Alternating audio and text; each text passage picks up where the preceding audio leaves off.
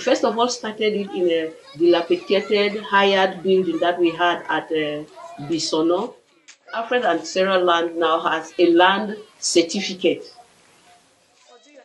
This land is given that we have paid very, very little just to compensate her for the making of the documents.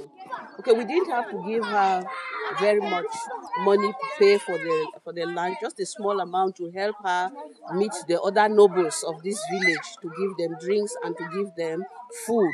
Je suis très contente, même mon mari, nous sommes contents. We have some other ladies who contributed to help so that we can bring up the buildings the way they are. Even the school bus is just a contribution. Water is very, very necessary. It's a necessity. Water is life. So having a well at the school campus will be of great help to the children and the indigenes around too. Sometimes water will come out from mm-hmm. that, And that's what they carry. and they will carry, they will use that. But it doesn't come out all the time, mm-hmm. so they come over here to use this one. To use it directly, they would just use it to wash the classroom and wash stuff. But they have to boil it to drink it. Okay, so there we go. I'm going to go fetch water.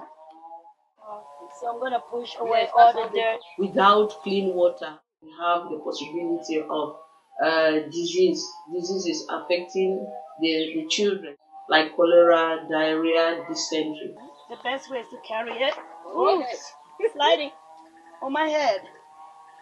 And now we can go back.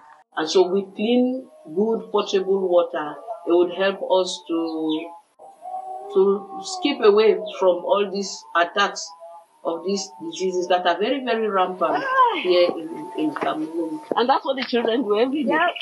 So the kids do this every Every single day. Get down there, carry water, and go round. Yep. If there is the money now, it will not take us two months. The well will be built.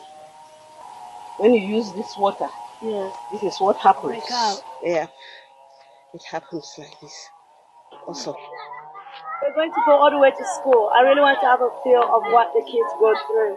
to build a well, a good well, would cost close to 2.5 million to have a good well. And I think the thing that interested me the most was the fact that Mahana, as a lady, is compassionate about her community and how the community was coming in to help out. She's getting this done even without outside help.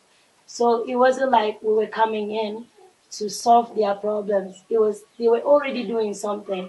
Now we're coming in to see where we can help out a little bit. So we're hoping that we'll be able to raise all the funds we need to actually get the water project to them and any other help that anybody can give to, to help this school will be greatly appreciated.